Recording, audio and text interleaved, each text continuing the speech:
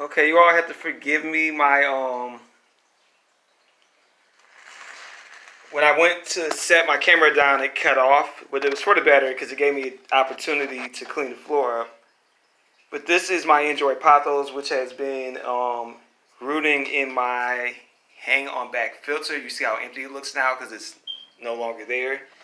Um, I have another golden pothos in there, but this was the N'Joy pothos. The only thing I had to do to finish it, that's why I, I had to leave the first time, I wanted to put, I always put orchid bark at the top of anything that I do. And the reason I do it, because it makes the soil kind of like porous or um, well draining. And that way you never have moisture. I'm making a mess again, but the broom is right behind me. It's not on camera, but it's behind me. I'm not, I'm a very, I'm a neat freak, so it's not gonna be dirty long. I don't mind making a mess when I'm working because you know my mom always said you gotta make a mess to clean a mess. But um, um, it's basically done. Let me just do.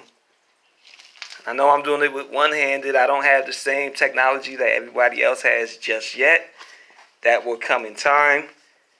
You guys got to forgive my rookiness of my channel. It's grassroots, still in the beginning stages. But anyways, look at this. Um, it's a very healthy plant. It's been in there about three, I would say three to four months, give or take. The dirt just got there, so forgive it. And the only thing I do to finish it, anytime I repot, I don't usually do the center I just do like the edge, the outer edges of it. But some of it, of course, it will make it to the center. And that's a way of, I'll probably put a little bit in the center today, not a lot. Because it is, you know, I'm transferring it from water culture back to the soil.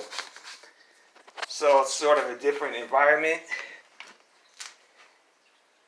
I'm about to hang this stop this video and I'm find where I want to put it.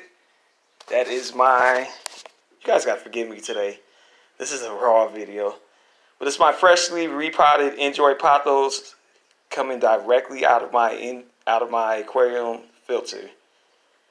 I would encourage anybody to try it. It comes out a lot more lush than if you just put it like in a jar or um, a plain cup. If you put it in your aquarium filter, it gets tons of nutrients. You see how lush this is. That is all from growing in my aquarium filter. All right, hope you enjoyed the video. It's moving on up. It's a new day. All right.